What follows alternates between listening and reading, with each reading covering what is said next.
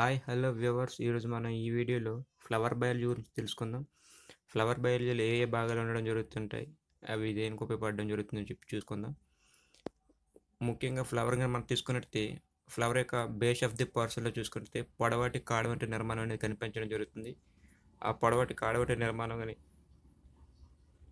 ఉండేటట్టయితే అటువంటి పుష్పాలు మనం వృంత సహిత పుష్పాలు అంటాం.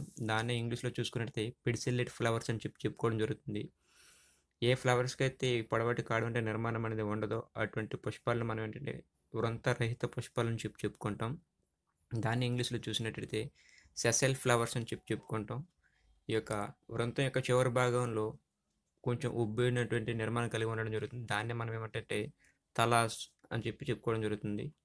దాన్ని తెలుగులో మనం ఏమంటామంటే పుష్పాసనం అని చెప్పి చెప్పుకుంటాం. ఇంగ్లీష్లో అయితే తలామస్ అని చెప్పి చెప్తుంటారు.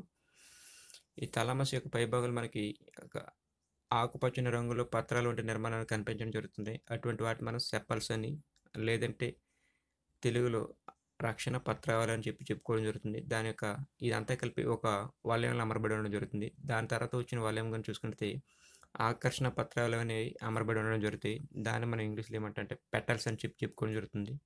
ఈ పెటల్స్ అనేవి ఏంటంటే పుష్పాల్లో పాలినేషన్ జరుపుకోవడం కోసం ఇన్సెక్ట్స్ని అట్రాక్ట్ చేయడానికి ఆకర్షణీయంగా కనిపించడం జరుగుతుంది. దానివల్ల మనకి అంటే కీటకాలని ఆకర్షించడం జరుగుతుంది. పాలినేషన్కి ప్రమోట్ చేయడానికి ఉపయోగపడుతుంటాయి అనమాట ఇంకా రక్షణ పత్రాలు కానీ చూసుకుంటే ఒక ప్రొటెక్టివ్ ప్రొటెక్టివ్ అనమాట కొంచెం భద్రత అంటే నిర్మాణాన్ని అమర్చడం జరుగుతుంది పుష్పానికి లోపల భాగాలన్నిటికి కలిపి.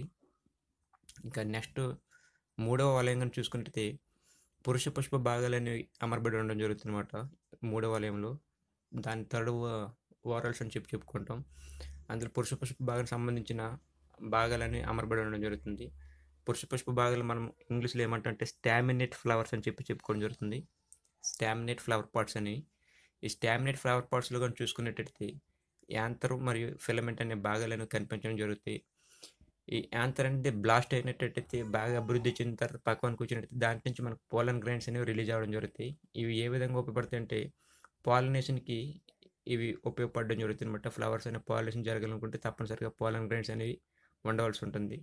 ఇక యాంతర్ నుంచి ఆ పోలన్ గ్రైన్స్ అనేవి రిలీజ్ అవ్వడం జరుగుతుంది. తెలుగులో మనం ఏమంటే పరాగ కోసం అని చెప్పుకోవడం జరుగుతుంది. ఆ పరాగ కోశాల నుంచి పరాగ రేణులు అనేవి రిలీజ్ అవ్వడం జరుగుతాయి ఆ పరాగ రేణులు అనేవి ఏంటంటే స్త్రీ పుష్ప భాగం యొక్క స్టెగ్మ మీద పడడం జరుగుతుంది. అప్పుడు మనకి అక్కడ పాలినేషన్ అనేది జరగడం జరుగుతుంది. ఈ విధంగా మనకి పురుష పుష్ప భాగాలనే ఉపయోగపడడం జరుగుతుంది. ఇంకా ఫోర్త్ వలయంలో కానీ చూసుకున్నట్టయితే స్త్రీ పుష్ప భాగం అనేది అమరబడి ఉండడం జరుగుతుంది. దాన్ని మనం ఏంటంటే కార్పెల్ అని చెప్పి చెప్పుకోవడం జరుగుతుంది. లేదంటే పిస్టిలేట్ ఫ్లవర్స్ అని చెప్పి చెప్పవచ్చు. ఈ పిస్టిలేట్ ఫ్లవర్లు కానీ చూసుకుంటే ముఖ్యంగా మూడు భాగాలను కనిపించడం జరుగుతుంది. అవి ఏంటంటే స్టెగ్మా స్టైల్ ఓవర్ అని చెప్పి చెప్పుకుంటాం. ఈ ఓవరీలో మనకి ఏంటంటే ఓవ్యూల్స్ అనేవి అమరబడి ఉండడం జరుగుతుంది. ఆఫ్టర్ పాలినేషన్ తర్వాత ఫెర్టిలైజేషన్ అనేది కంప్లీట్ అయిపోయిన తర్వాత ఎంటైర్ ఓవరీ కాస్త ఫ్రూట్గా మారడం జరుగుతుంది. ఆ ఓవరీలో ఉండే ఓవ్యూల్స్ అనేవి ఏంటంటే సీడ్స్ కింద ఏర్పడడం జరుగుతుంది అనమాట థ్యాంక్ యూ అవర్స్ మరిన్ని లేటెస్ట్ వీడియోస్ కోసం నా ఛానల్ సబ్స్క్రైబ్ చేసుకోండి. లైక్ చేయండి షేర్ చేయండి మీ ఫ్రెండ్స్కి.